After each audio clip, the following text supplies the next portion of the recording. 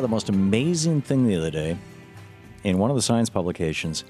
They have taken a, fic- a picture of a vibrating atom. Uh, actually, yeah, atoms vibrating within a molecule. Dr. Cosmin Blaga is with us. He is a research fellow at the OSU Atomic Physics uh, Research uh, or Depart- the Ohio State University Department of Physics Atomic Physics Research Group, physics.ohio-state.edu. And uh, Dr. Blaga, welcome to the program. Uh, thanks for having me. Thanks for joining us. Uh, I, I just found this amazing that we were able to take a picture of an atom and that it was vibrating. Um, first of all, the picture. How did how was this done? Well, um, so we we have a very powerful laser uh, that would focus into a vacuum chamber where the the, the molecules are uh, leaked into, and um, the laser first removes an electron from a molecule, and then about uh, a, within a very very short time, um, about a laser cycle, it drives the electron back to the molecule and it scatters on it, it basically diffracts. And then looking at the angles at which the electrons are scattered after they um, they hit the molecule, um, we detect these electrons, and then we look at which angles they're. So you're you're looking at the at, at, the at the burst of photons that come from that. Uh, no, there there are no photons. Well, the laser is uh, just the laser has the photons. It's uh, basically we're looking at the, an electron signal. So it's one uh-huh. molecule and one electron. Right. So. Um, so this way, so an analogy would not be taking a piece of flint and a piece of granite and hitting them together and watching the sparks. Uh, no, probably not.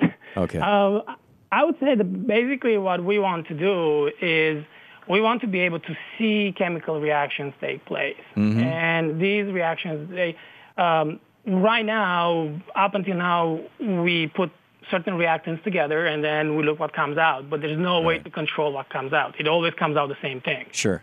So what we want to do, we want to actually control the chemical reaction, but to do so, you have to supply the molecule with information fast enough to, you know, do what you want to do during the chemical reaction, which is very, very fast. Right. One of the one of the most amazing and fascinating parts of physics for me, and and and and um, uh, is is this this whole idea of vibration, the idea that that uh, without constant movement, these particles might cease to be particles. They might be something other than a particle. They might just be energy. That possibly all matter in the universe is simply resonance. It's simply music. It's simply vibration. Um, is there any? Am I blithering here, or is there some reality to that? No, no, there there is. Um, this is um, um, there the the big experiments that everybody's very excited about uh, that's going on at um, uh, LHC, this large collider in Switzerland, mm. um, and they're looking for the God's particle, the Higgs boson. Right. That's exactly what that is. It's they're looking for a particle that gives rise to all the mass, um, and that particle, yes, it's a fundamental particle. It's a quantum object.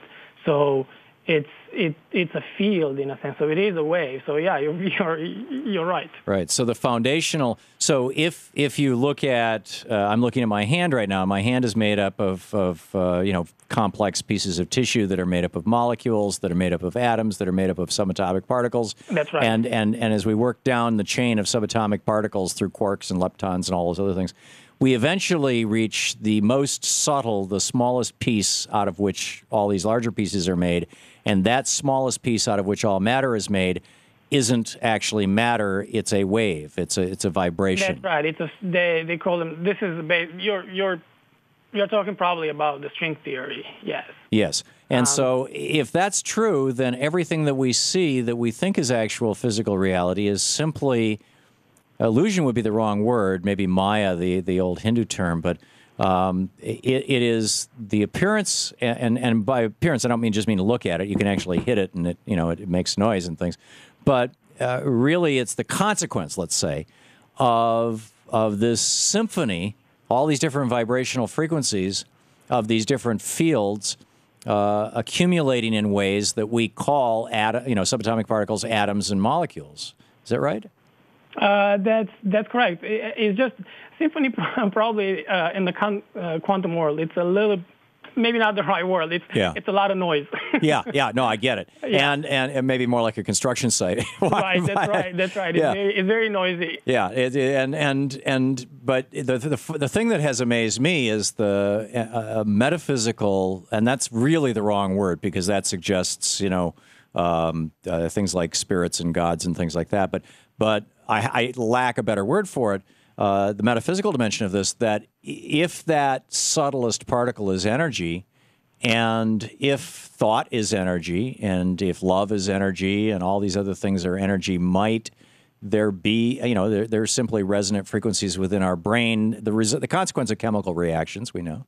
Um, might there be some association between consciousness, and maybe by consciousness, I'm using a word that as humans we can't even comprehend, and, you know, in other words, if our consciousness could resonate at the frequency of that Higgs boson, um, might we suddenly literally be able to perceive the entire universe?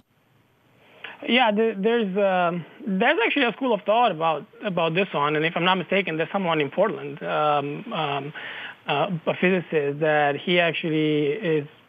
He's I, I don't remember right, now his name from the top of my head, but um, he, yeah, he, that's what he thinks. Yeah. Uh, we're trying to stay uh, not to touch that much into. In, you know, keep the science separate Sure, from I understand. from the metaphysics. but Just you know, And I honor that. I, I absolutely understand Yeah. and honor that. But I, you know, personally, I mean, this since I was uh, a preteen, Mm-hmm. this is, you know, and I and I first, I was, I, I had an older cousin, a couple of years older than me, who introduced me to Einstein's theory of relativity and then the time and mass dilation theories Mm-hmm. and, and the equations, and taught me how to do those equations when I was around eight or nine years old. And and you know, we would we would push these things out and say, okay, this is, you know, this is the point at which, well, you know, the speed of light squared the point at which uh, you know mass becomes infinite, time collapses to zero, or was it the other way around? And and and at that time, we were having my my cousin Joe and I were having these conversations about the possibility that the entire universe was just a thought, uh, that it was just an idea.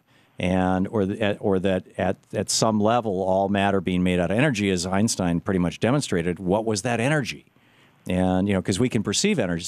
Very very small slices of the spectrums of energy. We can hear we can perceive sound we can perceive gravity we can perceive which may or may not be energy i suppose. We can perceive vis you know uh, No, a small piece of the It is visual spectrum.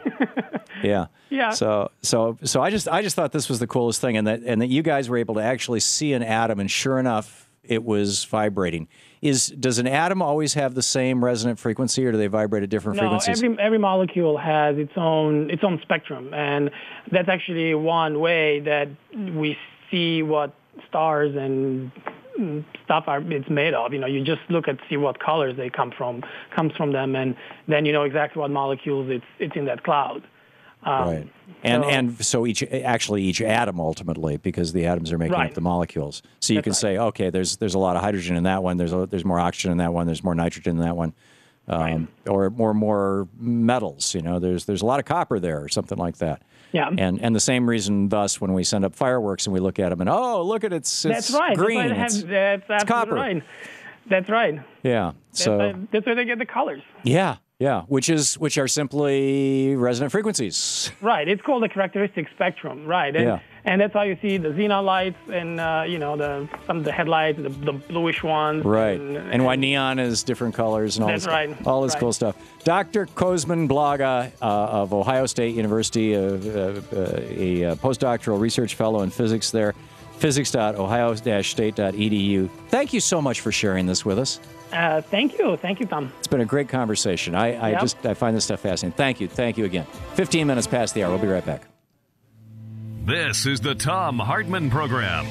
Okay, we've, we've argued a lot of religion on this program over the years. You now know my religion. We'll be back.